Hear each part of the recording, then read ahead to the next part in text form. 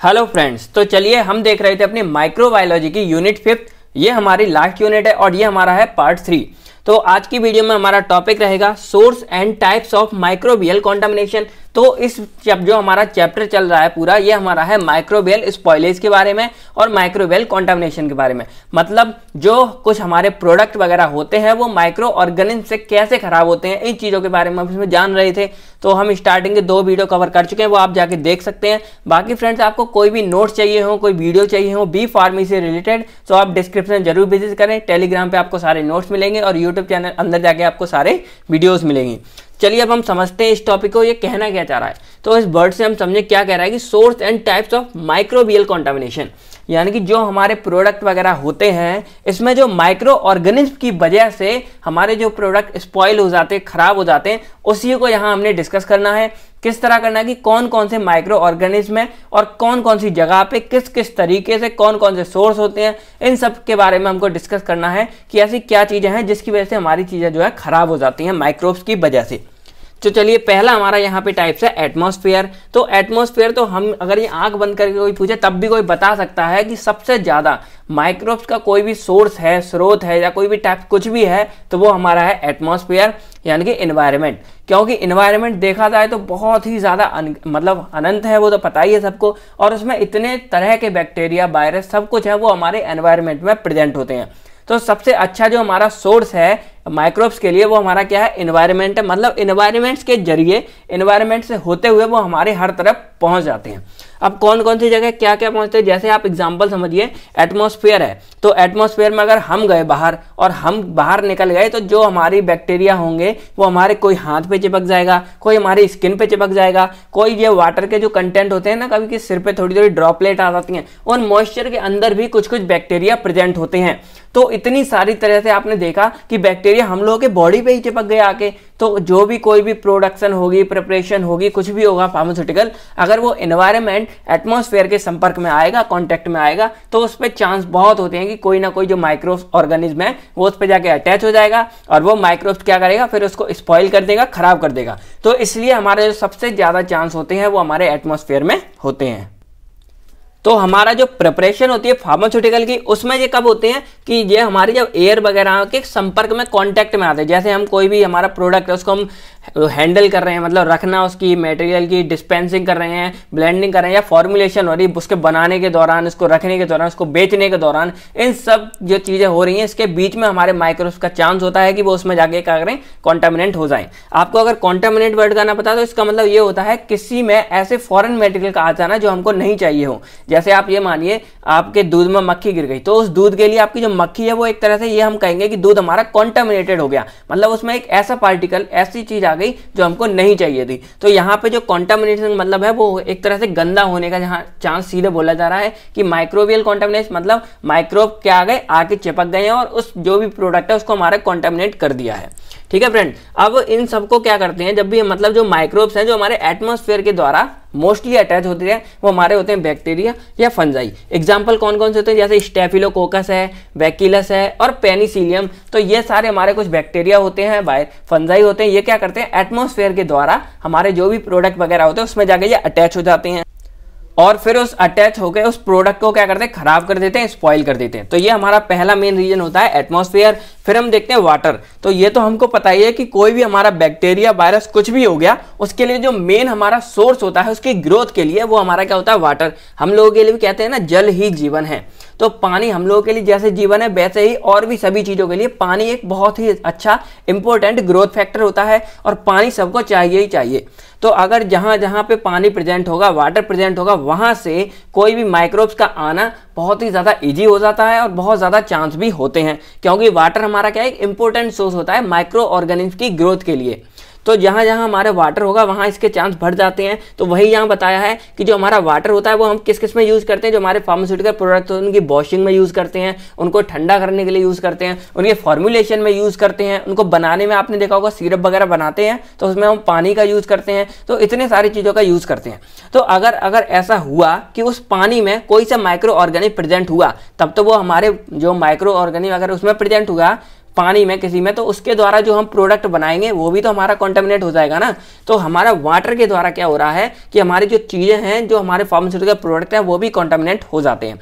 Example कौन कौन से बैक्टीरिया जो वायरस हैं, जो हमारे वाटर के द्वारा लग सकते हैं? एक हमारा स्ट्रेप्टोकोकस फैसिलस है सीडोमोनस है। इसका एक एग्ज़ाम्पल मैंने पिछली वीडियो में बताया भी था। तो इतने सारे हमारे ये होते हैं जो क्या करते हैं? पानी के द्वारा हमारे किसी प्रोडक्ट को स्पॉइल करेंगे। तो इसमें मतलब आपको ज़्यादा ध्यान देना होता है। रॉ मेटेरियल तो ये हमारा एक इंपॉर्टेंट सोर्स होता है किसी भी जो हमारे फार्मास्यूटिकल प्रोडक्ट होता है उसमें बनाने में। एग्ज़ाम्पल आप ये समझिए, आप कुछ मतलब तैयार कर रहे हैं। जैसे आप ये समझिए कि आप यहाँ पे सिरप बना रहे हैं। अब सिरप बनाने के लिए आपको क्या चाहिए? एग्ज़ाम्पल जस्ट सिंपल लेने तो हमको सिक्रोज चाहिए। हमको शुगर मतलब सिक्रोज हो गया मीठे के लिए, हमको वाटर चाहिए कंटेंट कुछ मेन एपीआई अगर कोई ड्रग डालते वो चाहिए। तो अगर हम ऐसा कर रहे हैं कि जो हम ड्रग ये बना रहे हैं पूरा सिरप अगर इसमें हम कहें कि सुक्रोज में हम क्या करते हैं? थोड़े से अगर बैक्टीरिया मिल जाए, कैसे भी, या ये वाटर जो हम यूज़ कर रहे हैं, इसमें कोई भी हमारे बैक्टीरिया सूडोमोनस लग गया। तो अब ये हमारा रॉ मेटेरियल है एक तरह से हमको ये बनाने के लिए सिरप अगर इसी में लग गया, हमारा कोई ये हमारा ये वाटर है, अगर वाटर में कोई बैक्टीरिया मिल गया और उसको हम जब यहाँ पे एंटर करेंगे तो हमारा पूरा का पूरा सिरप भी तो खराब हो जाएगा ना? पूरा का पूरा सिरप भी स्पॉइल हो जाएगा। तो इसीलिए यहाँ पे बताया जाता है रॉ मेटेरियल जो हमारे होते हैं, वो हमारे क्या होते हैं? अगर उसमें कोई हमारा बैक्टीरिया वायरस पहुँच गया तो वो हमारे पूरे के पूरे प्रोडक्ट को क्या करेगा? स्पॉइल कर देगा या खराब कर देगा। तो ये भी एक तरह से क्या है, एक बहुत अच्छा मतलब स्रोत होता है। अब जैसे एग्ज़ाम्पल समझिए प्रोडक्ट हमारे कुछ एनिमल सोर्सेज से जैसे आते हैं जेलाटिन है। पेनक्रियास है। कौन, ये हमारा क्या है? कोसिनियल है। ये हमारी चीज़ें क्या है? ये हमारे डिफरेंट पैथोजेंस को करते हैं। पैथोजेंस भाई हमारे जो डिसीज क्रिएट करने में डिसीज क्रिएट करते हैं, वो वाले बैक्टीरिया होते हैं ये। तो ये चीज़ें क्या होती है? हमारी एनिमल सोर्स के ज़रिए हमारे एंटर कर जाती है फार्मास्यूटिकल प्रोडक्ट में। कुछ हमारे प्लांट ऑरिजिन अगर हम देखें, जैसे अगार है, इसका नाम तो आपने सुना ही होगा स्टार्च हो गया एसेसिया हो गए तो ये सब चीज़ हमारी क्या है? फार्मास्यूटिकल की प्रोडक्शन में हेल्पफुल होती हैं। तो अगर कोई भी हमारी एक और ये अगार आपको है बैक्टीरिया वगैरह के लिए भी बहुत ज़्यादा हेल्पफुल होता है तो अगर कोई बैक्टीरिया वायरस अगर इनमें घुस जाएगा तो वो हमारे फार्मास्यूटिकल के प्रोडक्ट को भी खराब कर देगा। तो ये सब इसीलिए होता है। एग्ज़ाम्पल देख लेते हैं क्या है? इसके बेसिलस हो गया या सूडोमोनास हो गया। तो ये सारे एग्ज़ाम्पल है ये बैक्टीरिया के, जो क्या करते हैं, हमारे फार्मास्यूटिकल प्रोडक्ट को खराब करते हैं। अब हम देख लेते हैं तीसरा प्रोसेसर ऑपरेटर, यानी कि जो ऑपरेटर होता है, जो हमारे काम वाम करता है, जैसे फॉर्मुलेशन बना रहा है, अगर वो जो ऑपरेटर है, वो अगर अपना कुछ एनर्जी की मतलब कुछ ट्रेनिंग की कमी के कारण या कुछ भी ऐसी छोटी मोटी हरकतें करता है, जिससे हमारा प्रोडक्ट कॉन्टेमिनेट हो सकता है। जैसे एग्ज़ाम्पल समझिए, उसने वो ऊपर जो हेयर कवर करने वाला है वो लगा होता है सेफ्टी अगर उसने वो नहीं लगाया तो क्या पता कोई प्रोडक्ट जो हम बना रहे हैं, उसमें कोई बाल उसका टूट के गिर जाए, वो हमारा कॉन्टेमिनेट कर देगा।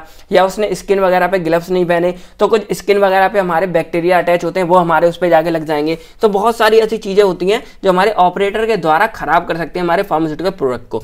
एग्ज़ाम्पल जैसे समझ लो, कोई कौन कौन से बैक्टीरिया होते हैं जो लग सकते हैं। जैसे नेचुरल स्किन फ्लोरा है हमारा। यानी कि ये हमारे स्किन पे कुछ कुछ ऐसे सूक्ष्म जीव ऐसे माइक्रोब्स होते हैं जो क्या होते हैं स्किन पे अटैच होते हैं और वो जाके हमारे उसमें घुस जाएँगे, जो भी हमारा फार्मास्यूटिकल प्रोडक्ट होगा। एग्ज़ाम्पल कौन कौन से? जैसे स्टेफिलोकोकस हो गया ऑरियस हो गया सार्गिनस ये हमारे कुछ बैक्टीरिया हैं जो क्या करते हैं? ऑपरेटर के द्वारा, उसकी स्किन के द्वारा हमारे प्रोडक्ट को खराब कर सकते हैं। अब हम समझते हैं इक्विपमेंट तो कुछ ऐसे होते हैं इक्विपमेंट की वजह से हमारे खराब हो जाते हैं, क्योंकि जो हमारे इक्विपमेंट यूटेंसिल ये चीज़ें होती हैं, ये हमारी प्रोसेसिंग होल्डिंग हैंडलिंग यानी कि जो हम फॉर्मुलेशन करते हैं प्रोडक्ट बनाते हैं, उन सब हम इक्विपमेंट का यूज़ ज़रूर करते हैं। तो अगर उस इक्विपमेंट में कोई साफ़ नहीं है इम्प्रॉपर क्लीनिंग है, या हम जिस पानी से यूज़ करें, वो प्रॉपर नहीं है, या उसकी जो बनावट है, वो ठीक नहीं है तो इन सब वजह से क्या हो सकता है, हमारा प्रोडक्ट है, वो कॉन्टामिनेट हो सकता है। तो ये एक इसका टाइप होता है। फिर हमारी आती है पैकेजिंग तो पैकेजिंग भी बहुत इंपॉर्टेंट होती है, क्योंकि पैकेज हमारा क्या करता है? दो काम करता है। आपको ये पता होगा, जब भी हम किसी प्रोडक्ट को, जैसे हमने ये प्रोडक्ट बनाया, इसको जब हम पैक करते हैं तो पैकिंग क्या करेगी? एक तो इसको स्टोर करने का काम करेगी, दूसरी क्या करेगी? इसको प्रिवेंट करने का काम करेगी। अब प्रिवेंट किससे करती है? कोई बाहर जैसे कहते हैं ना कीप डिस्टेंस मतलब इसको धूप में डायरेक्ट सनलाइट की स्पीड में नहीं आना चाहिए, इसको ठंडे में रखना चाहिए। ये हमारे कुछ स्टोरेज और पैकिंग के मतलब वो होते हैं रूल कि इसको हम ऐसे रखेंगे। दूसरा माइक्रो जो माइक्रो ऑर्गेनिज्म होते हैं, उनसे हमको इसको दूर रखना होता है। मतलब इस तरह हमें इसको पैक करना है कि कोई भी बात, जैसे हमारे ये पैक है अच्छे से, कोई भी माइक्रो ऑर्गेनिज्म इसके अंदर एंटर ना कर पाए। तो इन सब चीज़ों को हमें ध्यान में रख के पैकिंग का करना पड़ता है कि किस तरह हमको पैकिंग करनी है। अब हम देख लेते हैं अपना बिल्डिंग एक है। तो ये हमारे इस चीज़ पे डिपेंड है, जैसे जिस बिल्डिंग वगैरह या कोई रूम घर, कुछ भी होते हैं ना, जिसमें हम ये सारी प्रिपरेशन करते हैं प्रोडक्ट अपने बनाते हैं तो कई बार ऐसा होता है कि उनकी दीवारों में जैसे कोई छेद हो गया, या कहीं पे कोई दरार आ गई, कोई टूट गया तो उसके अंदर हमारे जो बैक्टीरिया होते हैं, वो क्या करते हैं, अपने आप को पनप ना बोलते हैं ना हिंदी में पनप लेते हैं मतलब उसमें क्रिएट कर लेते हैं, अपनी संख्याओं को बढ़ा लेते हैं। और फिर क्या करते हैं, वो हमारे उस प्रोडक्ट में जाके एंटर कर जाएँगे और उसमें क्या करेंगे, हमारे प्रोडक्ट को खराब कर देंगे। तो हमको ये भी खासकर ध्यान रखना है कि जो हमारे ये, जो हमारी बिल्डिंग्स होती हैं, वो सब हमारी बहुत ही अच्छे से हो और सारी की सारी स्टेरलाइज हो।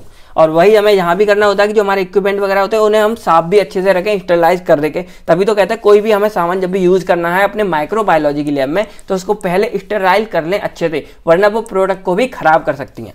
तो ये हमारे आज का टॉपिक सिंपल हो गया। पहला, कि हमारा क्या था?